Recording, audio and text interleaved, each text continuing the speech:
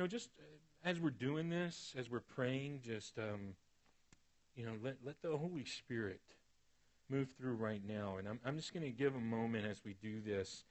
Uh, if the Holy Spirit has a word, if anyone has a word, if you, you know, if something is moving right now, I just encourage you to um, lift it up in prayer. Father, as we come before you right now, I just give this moment um, because, Lord, my heart just goes out for those that are hurting, those that are in need, um, those, Lord, that, um, that, that know, that know, Lord, that your Holy Spirit dwells within them, and yet they struggle, they fight, they are, Lord, just beset upon by things. And right now, I just want to lift up people in the congregation. I want to lift up those that I know that are struggling, Father um, it, whether it be from you know from just struggling in their heart, struggling with the flesh, struggling with life, uh, struggling with medical issues, struggling with all these things. I just lift them up to you, Lord. I lift up uh, George and Ross to you. I lift up um, Louise to you. I lift up Maxine to you, Lord, and I.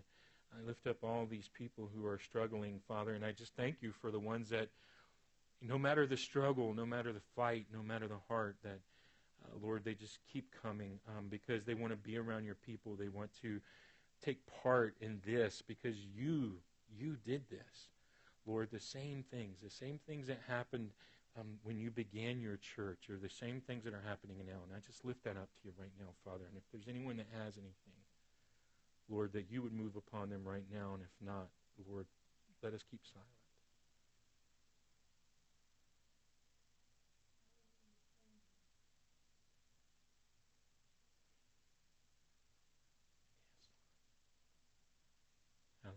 We do praise him. We praise him in the tabernacle. We praise him in our life, and we praise him in every moment. And we thank you, Jesus, right now. Thank you, Father. And as you do these things in us, we pray that you would just continue to make yourself known as we go into this message. That you reveal yourself in the hearts the spirits of each and every person here. And do this in Jesus' name. Amen. All right. Uh, I'm entitled the message today, Partiality. Um, and if you would turn to Acts chapter 10. And we're going to begin, uh, let's say, verse 34. And, and it's funny um, as we come into this because, the, like I said, I've entitled it Partiality because, you know, he begins by show, you know, saying that, you know, God shows no partiality and all those things.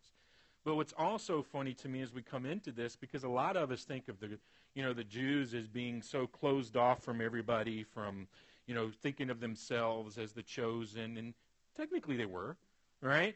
Um, but chosen not because they were so awesome, but chosen to be an example and for God to bring the salvation of mankind through them. Um, and it's kind of funny to me as we look at this because the Greeks were kind of the same way. Um, you know, we say humanity as in all humanity, all people. Um, you know, the Greeks didn't even have a word for that. To them, there were Greeks and then there were barbarians.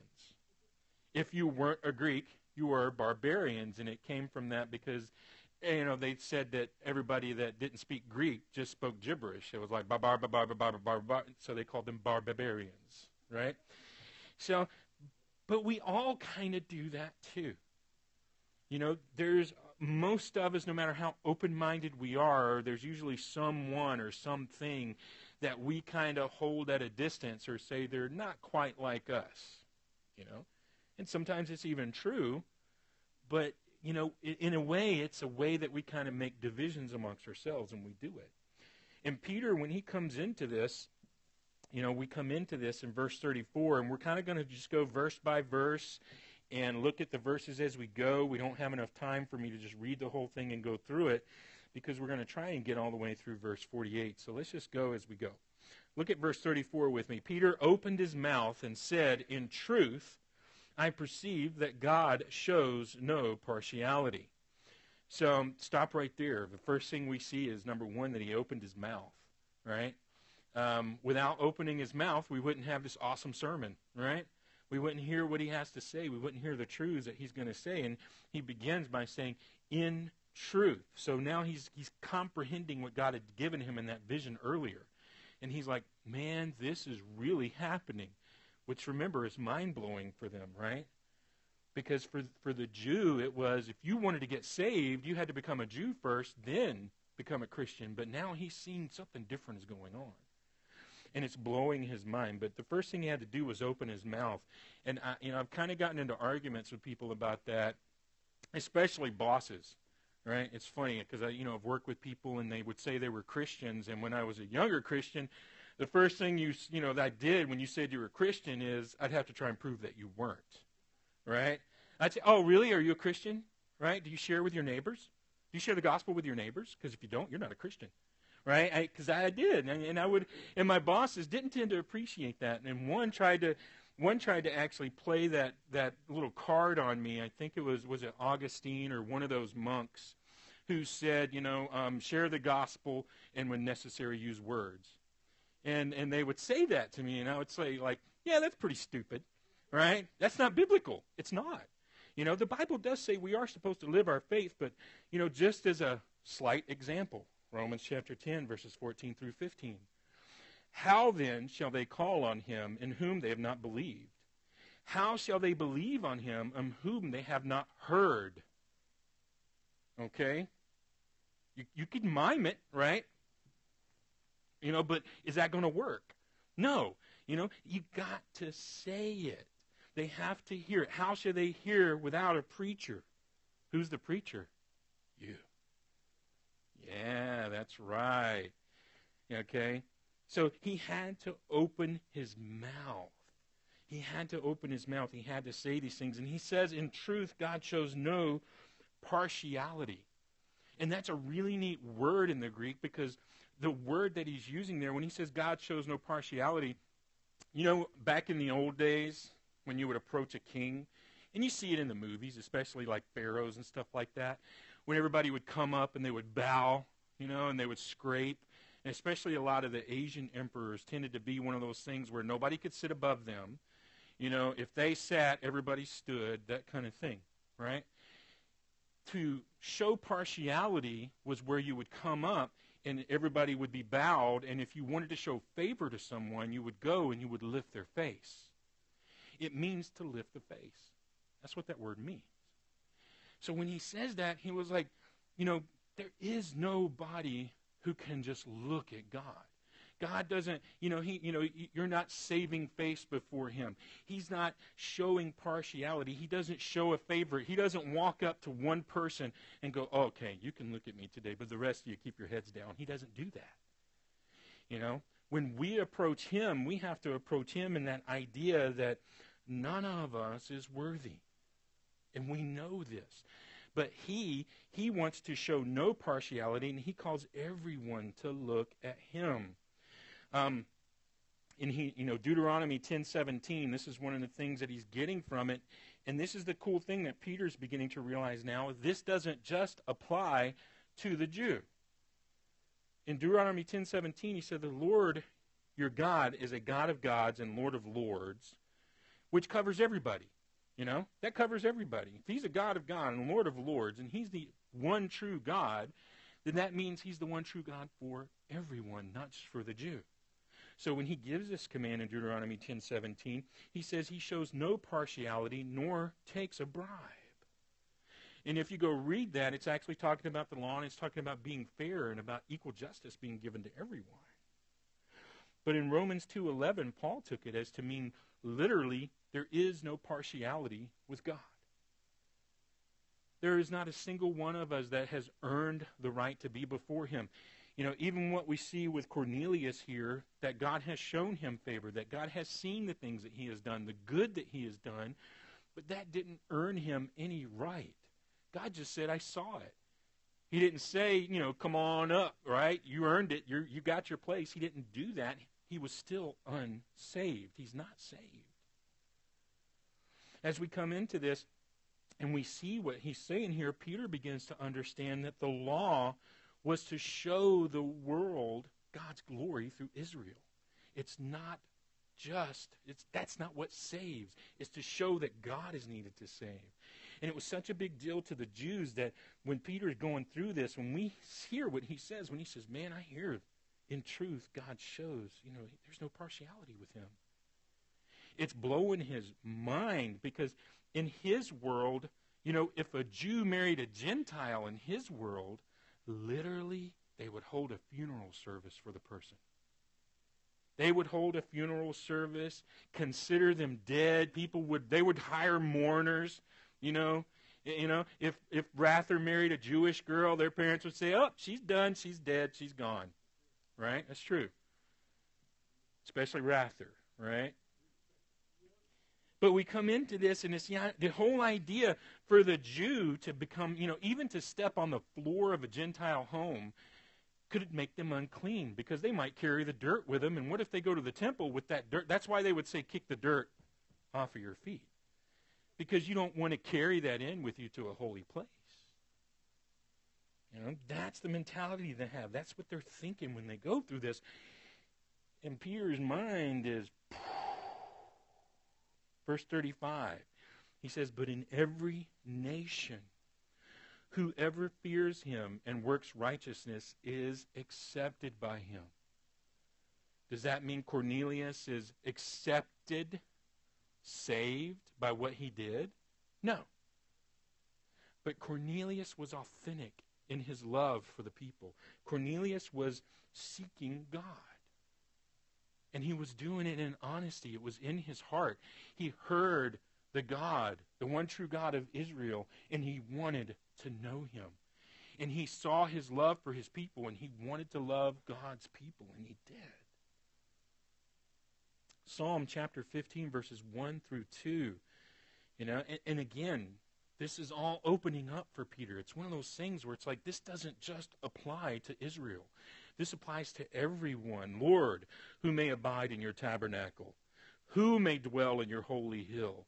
Who walks uprightly and works righteousness and speaks the truth in his heart? That's who does it. And Cornelius is walking uprightly. He's speaking the truth in his heart. He's given of everything that he has to God and to, to his work and what he wants to do. You know, this isn't work salvation. He's not being saved because of his works. He didn't pay enough into the kitty for God to go, you may come forward now. Again, Peter's already said he's not showing this guy's face because of it. He's saying this guy is seeking him, and God is recognizing it, where I, as a Jew, wouldn't. Isn't that heartbreaking sometimes? Because you and I, I, I can do the same thing. You know, I can judge some people by what I see in them, how they dress, how they behave, the things they listen to or watch. And I might judge them and kind of not minister to them because you know, I don't want to be involved with it. Whereas God sees what they're doing through their heart and He loves them. And He realizes He knows the heart of a person and I don't. You know? Am I missing the trust that people are trying to show in God and the people that are trying to seek Him because of some of my own religiosity? You know, I want to have standards. I want to be righteous in them. I want to have truth, and I don't want to. I don't want to bend on those. But I've also got to be careful about using them to keep people out of the kingdom. I've got to be careful because the acceptance that we're going to see here is built on Christ. You know, when God truly accepts someone, there's a huge difference here between God accepting the sacrifice and the, the giving of Cornelius and recognizing him for it, than saying, okay, that saved you. He doesn't say that. To save, to be saved, because if that was the case, why is Peter here if Cornelius is already saved? Just to kind of put, you know, put ink on the paper to sign the deal? That's not what's going on here. When you and I are accepted by him, truly accepted, no matter how you dress, no matter who you are, whether you like square toe or pointy toe cowboy boots, right? No matter any of that, you're accepted in him because of Jesus Christ. Ephesians chapter 1 verse 6, to the praise of the glory of his grace by which he made us accepted in the beloved. You and I, when we come to him, it doesn't matter our background or where we came from or any religion we may have experienced or shared. It's him. And when Peter is talking about this, he's like, it doesn't matter whether this guy, you know, whether he has been um, circumcised. You know? Peter understands now it's not about that outward appearance or the you know the religious acts that we do that gets him to it. Look at verse 36. You know, he goes, you know, he he says, you know, in every nation whoever fears him and works righteousness is accepted by him. The word, he says, which God sent to the children of Israel, preaching peace through Jesus Christ. He is the Lord of all. Truly, that becomes truth in his mind as he's saying this. And then he tells these Gentiles, these people sitting around, and maybe he's preaching to the six that came with him too, right? Because he says, That word you know, which was proclaimed throughout all Judea, and began from Galilee after the baptism which John preached. You know, he says, which John preached. So he's pointing out that the baptism that John preached was one of repentance from sin. It was repenting of sin. And he says, verse 38, how God appointed or anointed Jesus of Nazareth with the Holy Spirit and with power, who went about doing good and healing all who were oppressed by the devil, for God was with him. And it's every time I read that, for some reason, I get that, that old adage that we say a lot, you know, know Jesus, know peace, you know. To know Jesus is to know peace. You know, he went around saying these things and doing these things. The word that he says there, you know, when he says that word that you know, the word which God sent, the word is that logos. It's that same thing in John chapter 1, verse 1. Okay? The word that was sent was not just what Christ said, but Christ himself. Christ preached. That word preach is evangelion. Okay? It means to proclaim good news. That's something that you and I can do. It's the same thing Peter's doing here. You know, we don't have to give an in-depth Bible study. We don't have to, you know, get, you know, everything right. We just have but you got to open your mouth and you got to say it. You know? I cannot, you know, I, you know, my telepathy has failed every time I've tried it. You know, because sandwiches and drinks are not always just coming out to me when I'm on the couch. You know what I'm saying? No, I'm not saying you. I'm just saying, you know. I'm getting looks. I need to be careful. But the good news that he preached, the things that he did, the way that he lived and shared. Um, Taylor actually shared this section of scriptures at, at U-Turn Friday, which was a great time, man. I encourage you guys, you know, come to U-Turn, even if you just need a break from something or um, need a shot of scripture in your head. It's it's a good place to come, and you know, you hear people's hearts and you hear what God's doing in the hearts of people. Um, but he shared from John chapter 8 verses 32 through 36 and you can you know because what we read in here is this actually like a, a script of what peter gave or did peter actually talk about what christ taught? You know we don't know that because like we talked about you know they're they had to keep everything kind of short. They didn't repeat a lot of things when they would write these these books like the book of acts. All right, they were really more like letters, because the you know the the paper and everything else, whether they were using papyrus or whether they were using scrolls, were expensive, and you know a lot of people didn't know how to write. So here, as he's coming into this, you know, is does Peter share something like this? John chapter eight, verse thirty-two, where Jesus is talking to everyone, and he says, "You shall know the truth, and the truth shall make you free." So the Pharisees and those, and even the Jews, just standing around, you know, because you got to think Peter's one of these guys. He's one of the disciples, and he's going, "Yeah, yeah, what? Free? What do you mean?" And then Jesus says, you know, the other guys are like, "Hey, we're Abraham's descendants. We've never been in bondage to anyone. How you can? How can you say you will be made free?" Right? And that's their mentality. You know, we might be under Roman rule, but you know, you could tell me what to do, but inside I'm not doing it. Right? Know, because I'm a Jew. I'm chosen by God. Mm, you could beat me, you could kill me, but I'm, you know, it's that attitude, right? Like your kids, right? You know, you want them. You go obey, do this, have a good attitude about it. And they do it, you know? And that's that whole thing. And these guys are like, We've never been, you know, I ain't never been nobody's slave, nobody's bondage, right? And then Jesus goes, you know, he says, most assuredly, he says, I'm telling you now, this is the truth.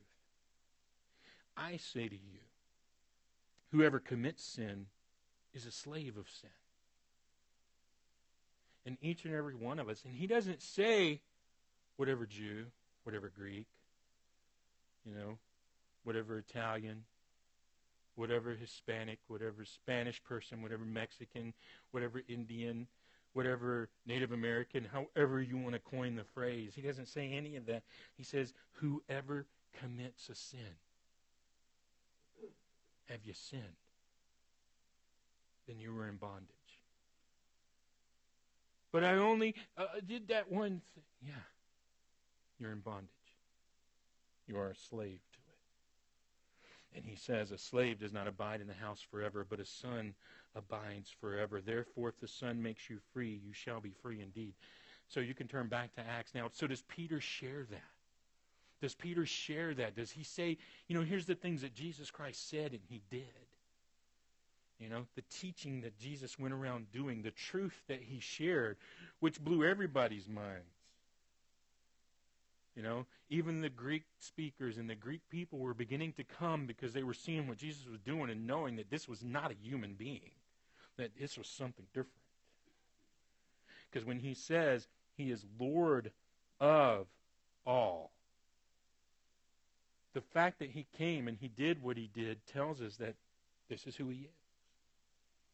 That we are all equally lost and equally in need because he who sins is a slave to it. In Isaiah 64 6, we are, we are all like an unclean thing, and all our righteousness are like filthy rags. We all fade as a leaf, and our iniquities, like the wind, have taken us away. Every single one of us. And some of our sins sound really good and really nice, and they're really culturally even acceptable. But it's still sin.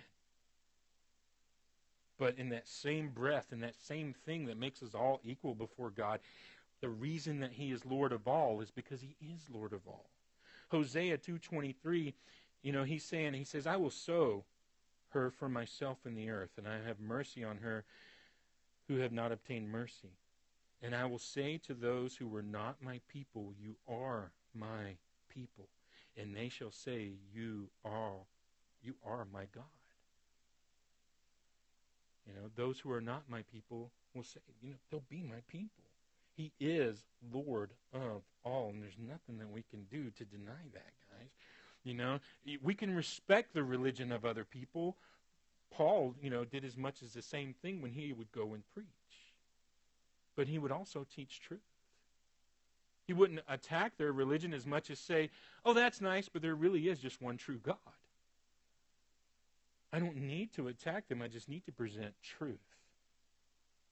And he will sort it out. As Spurgeon often said, one does not need to defend a lion, he just needs to set him free.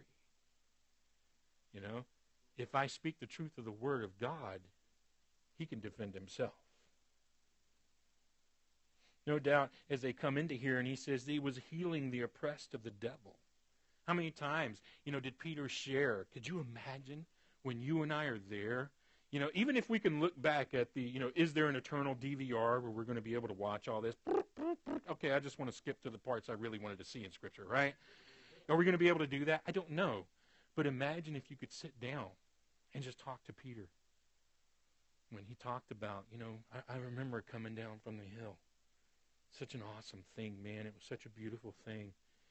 You know, and then here were all the disciples and they were they were praying over this this kid who was possessed by a demon, right? His dad said he keeps throwing himself into the fire. Your disciples been praying for like hours and nothing. Right? And then Jesus came up, man, and he and he just like that. That demon came out. You know, what if Peter were to share with you when they pulled up in the boat, right? And he said, Man, this guy, and he was cutting himself, and this guy was like running around naked in this, in this, you know, in, in this cemetery, and he was eating garbage and filth. And everybody had rejected him and turned away from him, didn't want anything to do with him. And then Jesus, with a word, flipped the script. This guy instantly changed. Can you imagine hearing that from Peter, what he's talking to these people about? And he's sharing when he would, you know, he didn't just heal the oppressed of the devil, he changed their lives forever. Not in just in that moment, but for eternity. Did Peter tell them what Jesus said in John chapter 10, verse 10? The thief does not come except to steal and to kill and to destroy. I have come that they may have life and that they may have it more abundantly. The devil promises us things. He gives us these momentary pleasures. Sometimes, you know, it, it, it's something that we haven't experienced before, and it becomes a thing that we want and we want and we want. We have to understand that way leads to death. You know, he does not give it to you to give you pleasure. He gives it to you to trap you and to bind you to him. He who commits sin is a slave to sin.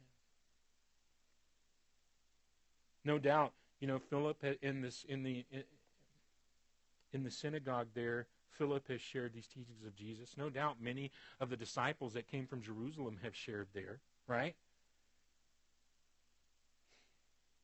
Have they heard these teachings? Is Peter just kind of cementing it for them? Verse 39.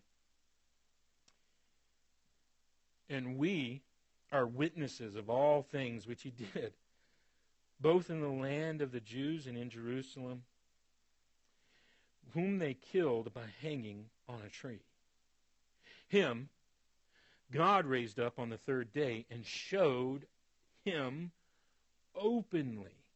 So he says, Him, God, God Himself raised him up. And He showed him openly. That word showed him openly means to display without doubt. He made it clear that this was Jesus Christ risen from the dead. But He says, not to all people, but to witnesses chosen before by God, even to us who ate and drank with Him after He arose from the dead. So when Peter talks, is he talking about the royal we? Is he talking about us apostles and disciples? You know, we, we were there, guys. Or is he saying it because of the six that are with him? Is he saying we? We were witnesses of this.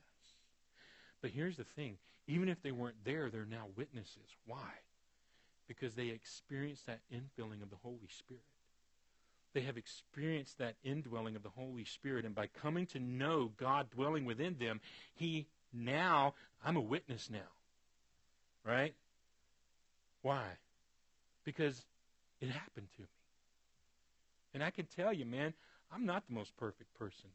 You know, I could be an idiot, well, a lot of times. I was going to say sometimes, but probably more often than not. And I can make a lot of mistakes. But He lives in me. And I can tell you that beyond the shadow of a beyond the shadow of a doubt, I know I'm already in eternity. You know, I want you guys to understand that. You know, if you don't know that you know that you know, you better find it out. Because if you can't testify in your heart that Jesus Christ dwells there, you may not know him. How can you say that you have met God? You can't say you met an eternal being and then just go, eh, no biggie, no whoop, right? That's not the way it works. You're either saved or you are not. And here, he says, we are witnesses. We know him, guys. And these six guys, he, he's, we're witnesses. You can talk to these guys. They know he's alive. He's indwelling each and every one of us. In Acts chapter 1, verse 8, Jesus said to everyone there, and he says it to us too. You will shall receive power when the Holy Spirit has come upon you. You shall be witnesses to me in Jerusalem and Judea and Samaria to the end of the earth. It's not just the apostles, it's you. But you got to open your mouth. A lot of times we don't want to open our mouth because we feel like we don't know really what we're talking about. But you do, man. I could tell you about my wife. I know her. I have a relationship with her. I can tell you she doesn't like flowers. She likes blue bonnets. She likes Indian paint brushes. But she doesn't want me to give her flowers. Yeah. She would rather have a picture of her grandbabies, or she would rather have me cook dinner, or wash clothes, or You know, that's what she wants from me. What do I know about my Lord, my God? You can tell people about Jesus, about your relationship with him. You can say, I don't know everything. You know, I don't know what he thinks about this or about that all the time, but we can look at it in his word if you want to. But what I do know is that he loves me, and he died for my sins, and he rose again from the dead. I can tell people that. I can open my mouth and say it because he lives in me. It says that he was killed by hanging on a tree, and we know that refers to Deuteronomy where it says, Cursed is everyone that hangs on a tree. But you know what's funny is there are some cults that actually use this to say there was no crucifix, no cross. Actually say that and they turn it into this big, huge deal trying to tear down Christianity as it is because we have the cross, right? You know, and you guys know the logo. You know, these are the three nails, okay? And this is the cross. This with this is an anchor. And then just this bottom part represents the Holy Spirit. That's the dove, okay? And you can see it in the logo, it's there on your bulletins. So they say there is no cross. They turn it into a huge deal. But the idea that it says cross over and over again in the scripture, and they're saying, well, he says tree. Does a tree not have branches? You know? It doesn't mean that he was hung on a pole. It simply is a Hebrew idiom, which means he was cursed, and he was cursed for our sake. We know this. And, you know, the Romans, they wanted to display their victims in the most gruesome and horrible fashion that they could. For them to have them splayed out like that was humiliating, it was degrading, and they wanted to do this. And also, if it hung overhead like this, it didn't suffocate you as fast as it would like this. It would take longer to die like this. And they wanted it to be agonizing, long slow. That's where the word, you know, that's that's where the word excruciating came from. Was that cruciatus, which is agonizing. But they, he says they, right? He says they hung him on a tree. You know, he's not saying that because he's with the Romans because he doesn't say before when he actually was preaching back in Acts chapter 3 verses 14 through 15 he tells the Jews right? He says you denied the holy one and the just and asked for a murderer to be granted to you and you killed the prince of life whom God raised from the dead of which we are witnesses. So to the Jews he said you did it. But here this Roman crowd he doesn't say the Jews did it. He just said they. Why? Because they, they're implicated in it too it was the Romans that hung him on the cross. You and I, we know, we know the truth of it, and it was our sin that hung him on that cross. But Peter is consistent in what he's doing here. He's not just trying to be sensitive. The thing that he's getting to, though, it just doesn't end with the cross. Because he goes and he says, raised up on the third day and showed openly.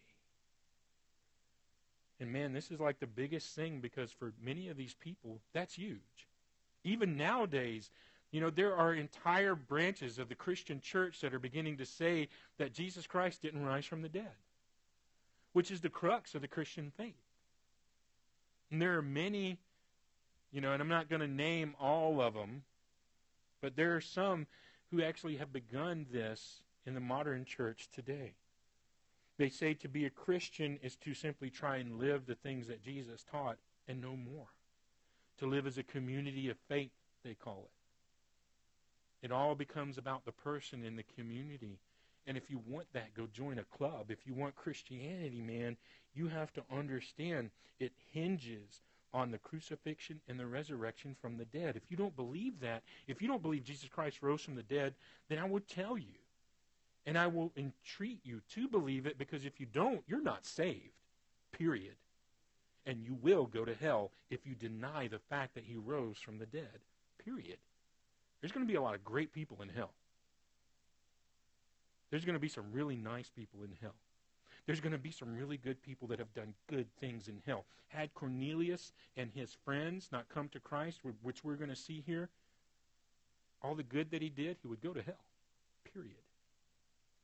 Why? Because they would deny the only thing that could save them. Here it comes into it, and the crux is the resurrection is difficult for the non believer. Paul even said in 1 Corinthians uh, chapter 1, verses 22 through 24, he said, The Jews want a sign, the Greeks seek after wisdom. Everybody wants philosophy. The Jews want miracles, the Greeks want to hear philosophy. They want to hear these great things and these wise things. And Paul says, We preach Christ. We preach Christ crucified, to the Jews a stumbling block, to the Greeks foolishness. But to those who are called, both Jews and Greeks, Christ the power of God and the wisdom of God. And he's saying here, because whenever he talks about the crucifixion, he also means the resurrection. To raise from the dead. Because it's idiocy to most people for us to say that he had to be put on a cross for our sins. You and I have to understand when he is saying this, they want him they want these guys to understand in the Greek when he's saying here that he was it was appointed. He's saying that listen, this is clearly made. It is so that Christ was clearly identified in this. Okay? As you look at it, he says, you know, him God raised up on the third day showed him openly. It just says clearly identified. And when he goes and he says, not to all people, but to witnesses chosen by God, those that ate and drank with him. So these are people that are specifically set aside so that they would know beyond the shadow of a doubt that he was risen from the dead.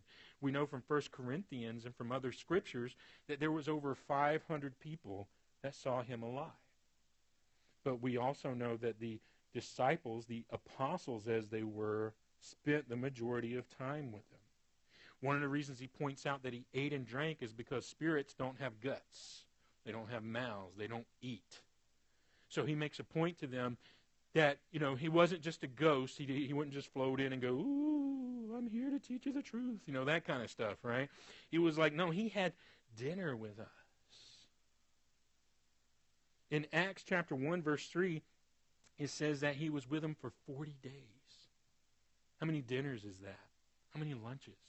Could you imagine? You know, if you'd have seen that, you knew he was crucified, he was, he was dead for three days, you know, and you're eating lunch with Jesus? Did he chew with his mouth open? Right? You know, I mean, you, you know, when you're if you're if you went to like say you went to lunch, you know, who's your you know we talked about this, and I know I use this as an illustration all the time. If you went to lunch with somebody that was famous, and they and they chewed like that, wouldn't you tell everybody? You know, I, I went to lunch with Harrison Ford. He eats with his mouth open, you know, and he talks with his mouth full and sprays food. It was crazy. You would rem- you'd memorize every detail of it. And can you imagine when these guys would eat with Jesus and, and Peter's telling them, he's like, man, you know, he's real. I had dinner with him. For 40 days, he talked to us about how we were supposed to share and do stuff with people. And he ate dinner. Did he burp? You know, I, I think about weird stuff like that because he's real. You know, did he try to grab the last piece of fish before somebody else did? Or did he give it away? Right? Or did he just make another one, right? I don't know what he did. Because he's Jesus. And I ate dinner with him, and he was risen from the dead, and man, he's real, guys. But the thing is, is that testimony of the Holy Spirit in you where you know he's real right now. He's still alive. He's praying for me. He's praying for you. But is he real to you? You know, he's very specific in pertaining to this. You know, you understand now why each and every one of these guys is willing not just to die to themselves, but to literally die. Most of us don't want to die to, you know, man, here you go. Most of us, you know, would, wouldn't be willing to give up our Dallas Cowboys for him. Not saying you got to, okay? But what if he asked you to? Would you? I'm not looking at you, Rather. I'm looking at Tomas. Okay? but but it, it kind of goes with that. It kind of goes with that. Most of these guys, you know, again, just like Peter's sitting here, his whole life has been tied into being a Jew, and now God's saying, "Yeah, act like it never happened, right? share the gospel with them. Don't worry about circumcision and all that extra stuff. And Peter's like, oh, oh, okay. And he shares with them, just like he did at Pentecost. Just like he did. So he has to die to himself when he's doing this.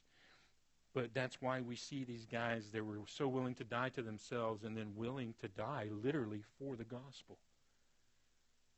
We read in Acts where it's like when they took a beating, they were like, woo, we got whooped for the gospel, right? What an awesome day. Most of us, if we got whipped for the gospel, we go home and go, I don't think God's with me. I got beat up. You know? Where they were like, yeah, God's in the hizzy. Let's go, right? But, you know, guys, we go into this and we have to understand that He's real, He's still alive. And then Peter goes on, verse 42. He commanded us to preach to the people, to testify. To testify. That's like being a witness in, in court. You know? I was an eyewitness to this. I saw this happen to testify that it is he who, were, who was ordained by God to be the judge of the living and the dead.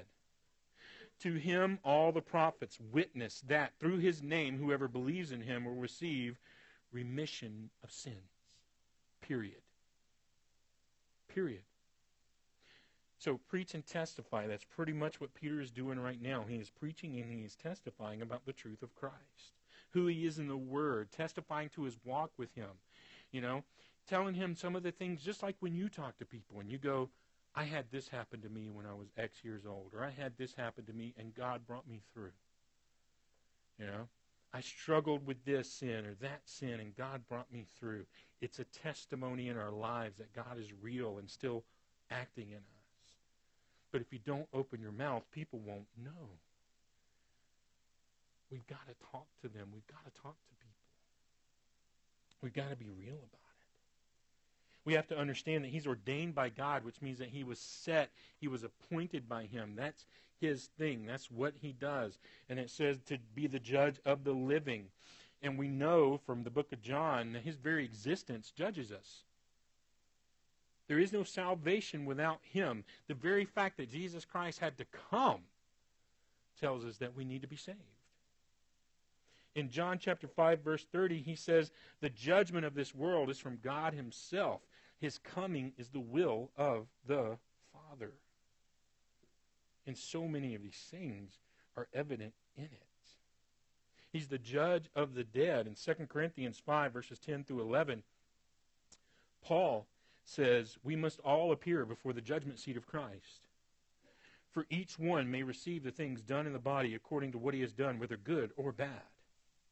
Knowing, therefore, and, and listen to what he calls it the terror of the Lord. It's terror, guys. You know, it's easy for us to ignore sometimes, or easy for us to kind of glaze over it. But over and over and over again, the Psalms, right? The fear of God is the beginning of wisdom. If God is real, God is going to make things happen in this world, in this life, and what we are that will blow our minds, that each one may receive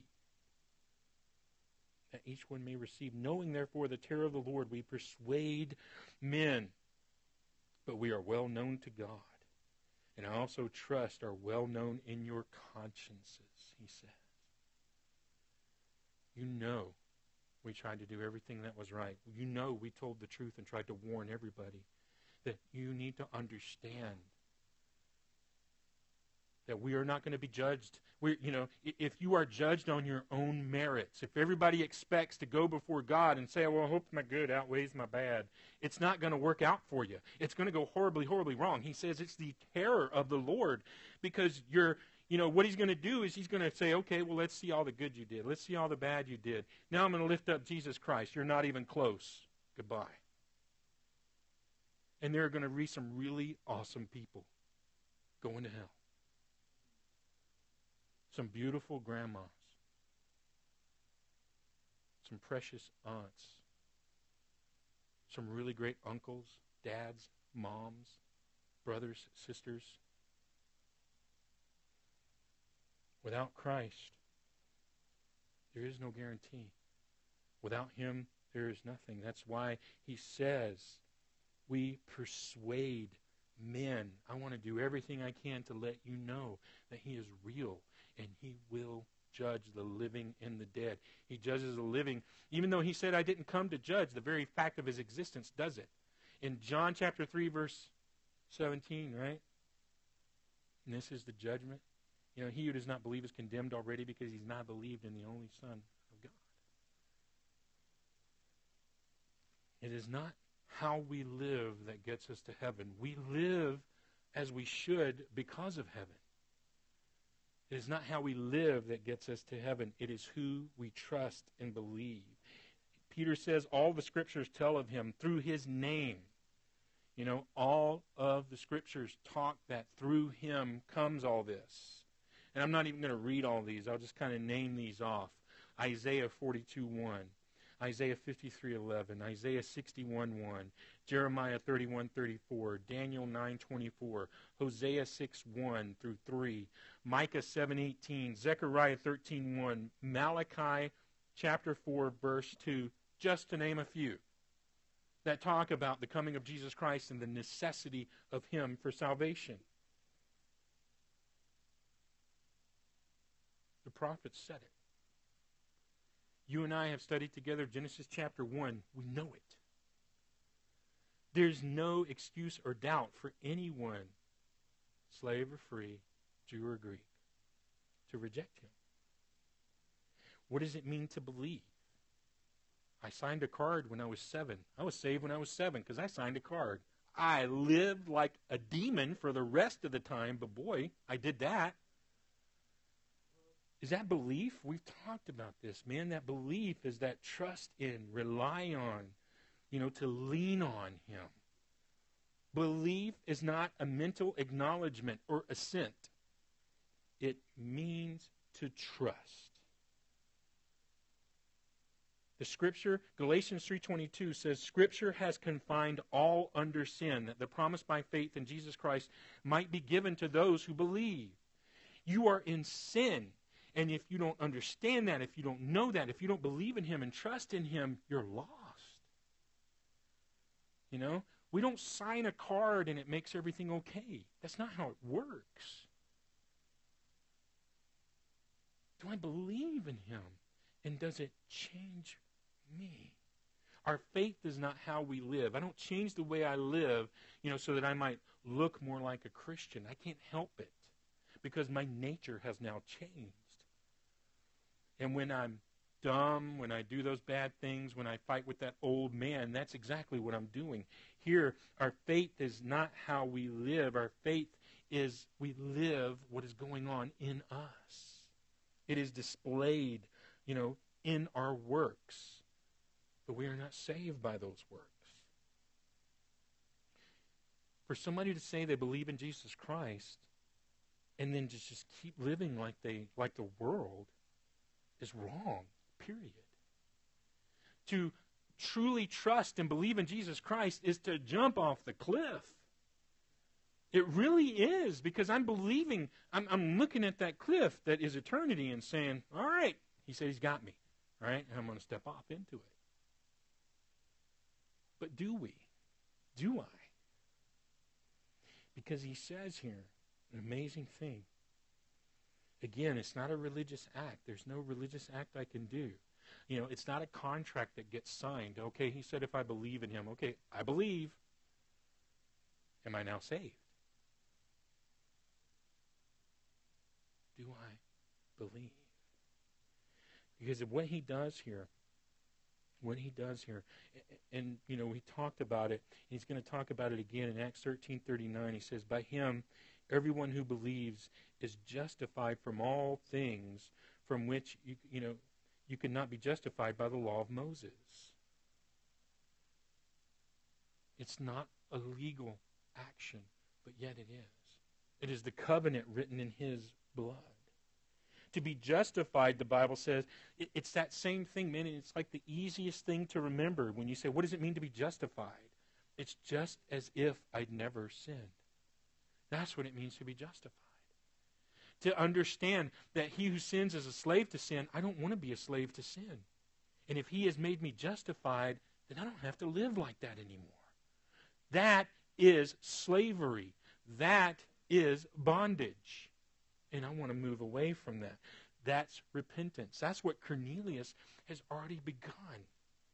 He's repented. He's turned away from the life that he lived. He's now beginning to pray, to fast.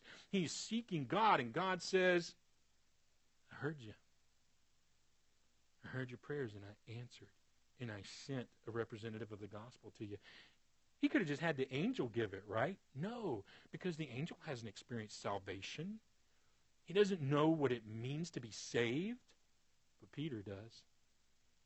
And he has come and he has said to through faith in Jesus Christ there is remission, is a receiving of remission of sins now. Because God, you know, he died for the whole world, did he not? John chapter 3 verse 16, right? All right. Do we need to say it together? Because most of you are already saying it in your heads, right? Aren't you? You know, or you seeing somebody with a sign at a football stadium, you know, for you fans right?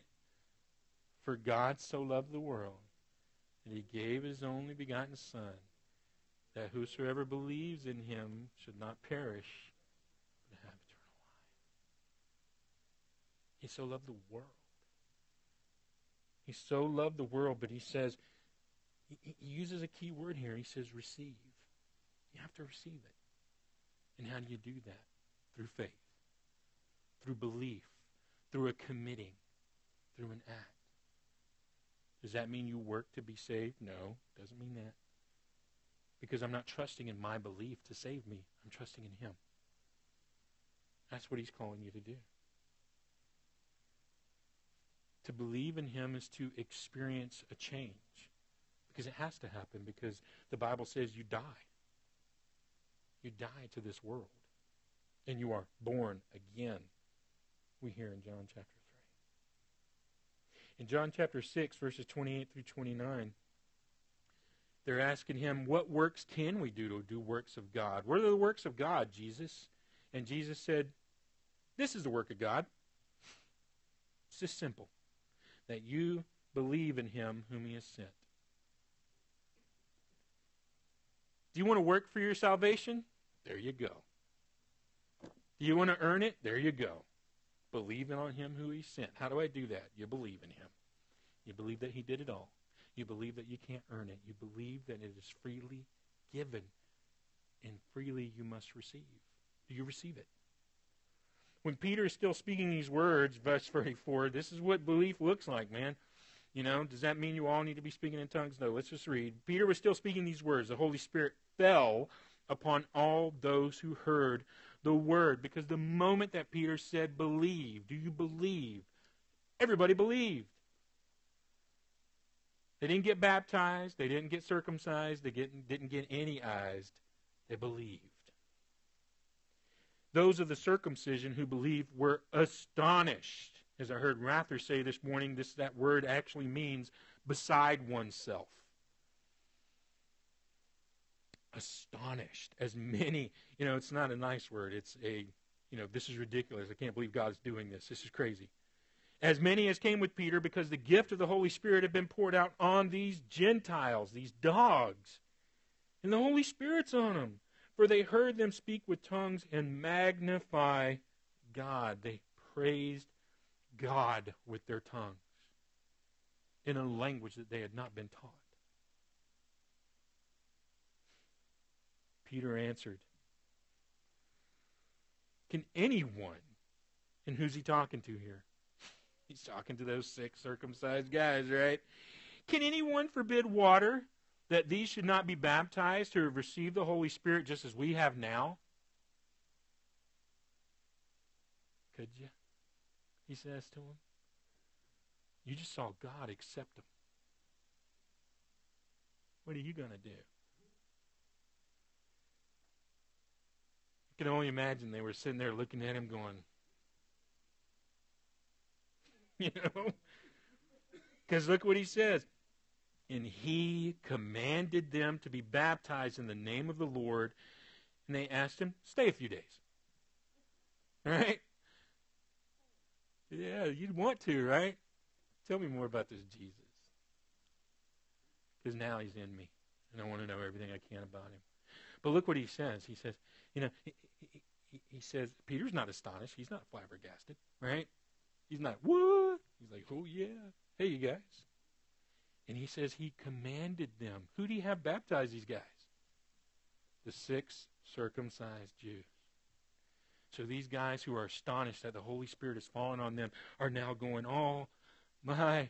And they're baptizing these guys that they don't even want to touch. And they're just like breaking their hearts every time because later we're going to see in chapter 11 the church back in Jerusalem, Peter gets in trouble. He gets called on the carpet for this. They don't get him because of the gospel, but because he went into a Gentile home and had dinner with them. And then he blows everybody's doors off. And guess who his witnesses are? The six uncircumcised, the six circumcised Jews that are with him. Those of the circumcision. It's awesome. Now, in closing, as we come into this and, and, and, in doing this, you know, a lot of people turn this into the fact that they say that this is indicative that you and I, when we receive the Holy Spirit, we should be speaking in tongues and magnifying God. I get it with the magnifying God because, again, as I've shared with you with my salvation experience, when I got saved, I did speak in tongues. But like I told you, I was at the, I was not in a church where somebody was going, you know, just repeat after me, Mama about a Honda, Mama about a Honda, right? It, that's not what it was. It wasn't somebody, you know, telling me to just start moving your lips and see what God does, right? Somebody had shared the gospel with me that day, and I went home, and I was looking at my kids, sleeping in bed, and I just remembering the gospel. Would I let one of my kids die for someone that hated me? I hated God. You know, or thought he was something that you know wasn't really, I, I, you know, all of his people on TV ruined God for me. And when I looked at my kids and I realized how much he gave for me, that, you know, and that kid, that I, would I give him up? What if my kid were willing to give himself up, to die? And then I, you know that and that turned into that gospel message that just began preaching in my head. And then when i gave my life to him when i realized he was true and i believed on him and i said there is nothing i can do to save myself. Save me. And he said i, I got you. And then i spake in tongues at the foot of my kid's bed and then walked into the next room and was speaking in tongues. And then the next thing i knew i was just praising and magnifying god did I need to speak in tongues? No, I, I, believe he really did that for me because I was used to manipulating. I was used to being manipulated. And he did that for me to testify to my heart, you are saved. It doesn't make me some holier than anybody else. It doesn't mean I'm special.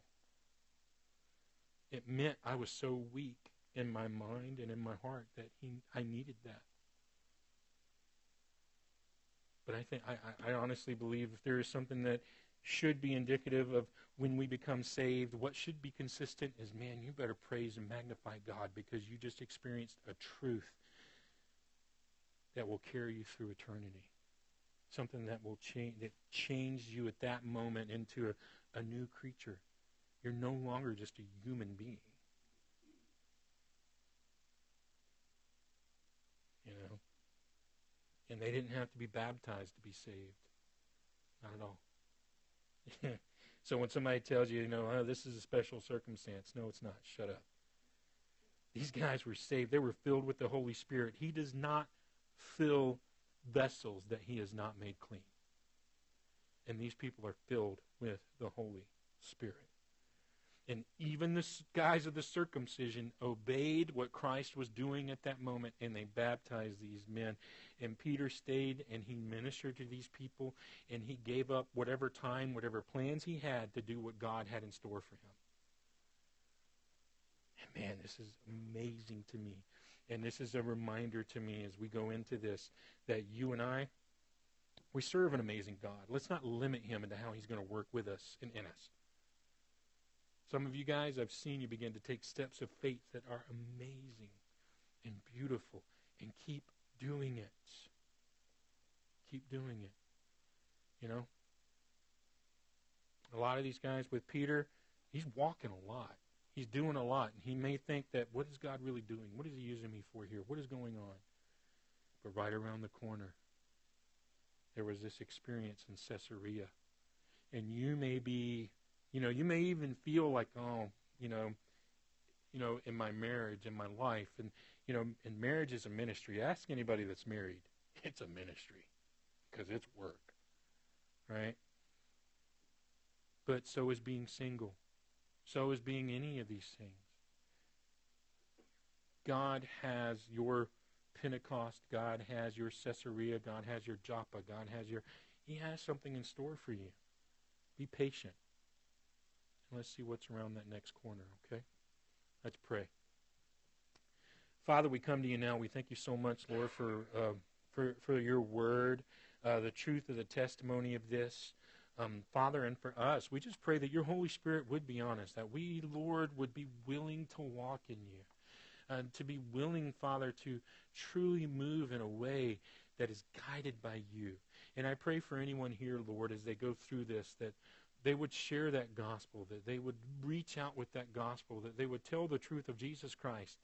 Uh, Lord, that there are so many evidences for him in the Scripture, that the Scripture testifies of him. Uh, Lord, that the truth is, is he died for our sins. He rose again from the dead, and this is that essential truth that we're lost, that we are all under sin, and we need a Savior, and He is it. And we thank you, Lord, that you have saved us. Um, not because of any ritual act that we have done, not because of the rite of baptism or the sacrament of the communion, but because you died for our sins and rose again from the dead. And we trust that that was all it took to save us. And help us, Lord, to walk in our faith, to walk in the truth. Um, Lord, you call us to walk as children of light, so help us to walk like that. Help us to encourage one another in it, and help us to realize the truth that we are yours, and not our own, and that we, whom the Son sets free, is free indeed. And help us to walk like that. In Jesus' name we pray. Amen. If you would, please rise with me. One of my favorite parts. Not just because we're over and lunch is on the way, right? But because this is a this is another community thing with us. You know, this is that part where I am. I love the community of this. I love that we're singing scripture. I love that again that connection that it brings us back to. You know, this is you know the roots of our Jewish faith, as it were. You know, which is He's the Lord of all. But this is a root, man. They sang this too. Jesus would have sung this as a boy. And it's awesome to me that we're connected like that. Let's do this.